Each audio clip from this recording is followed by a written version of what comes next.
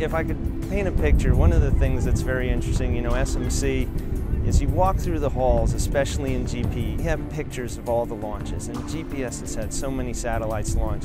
But one thing that I always amazed at and that we talk about with our team is that you see GPS Flight 1 being launched in 2010, and then you see GPS 2F5 and it says February 20th, 2014. And here we are in February and it's 2F12. We have launched eight satellites in less than two years. No one has ever experienced this launch rate. This is an amazing team, it's an amazing partnership, and it's doing amazing things for the people that are out there in harm's way. Atlas and GPS team up for their final voyage into space. The encapsulated payload stack aboard the Atlas V weighing at nearly 700,000 pounds fully fueled. It's making its way a third of a mile to the launch pad from the Vertical Integration Facility. What an incredible day. Here we are on the pad, get ready for launch. It's just an incredible feeling knowing all the hard work that everybody's put into this and knowing what's to come. I'm just so excited for where we're going. It's going to be a great day.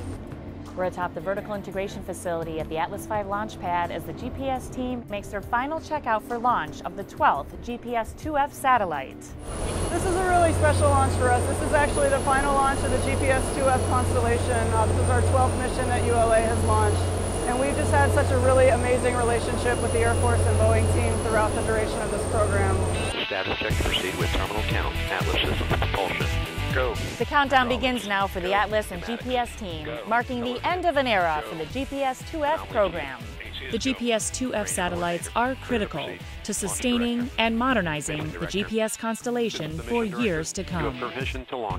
This GPS-2F-12 launch marks a finale to one of the most aggressive launch campaigns in history. Three, two, one. RD-180 ignition. The Atlas V rocket launches from Cape Canaveral Air Force Station, Florida, carrying the GPS-2F-12 satellites into orbit. Wow, what a great day. What a challenging morning. The, the weather and the winds, and as we were watching it down, the launch team found the perfect niche where we could get in and, and get that launch off, and then the whole team working together just to, to work every, every little issue the last minute to make sure we we're all set to go right at that last point.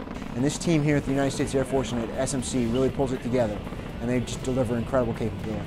Indication of spacecraft separation.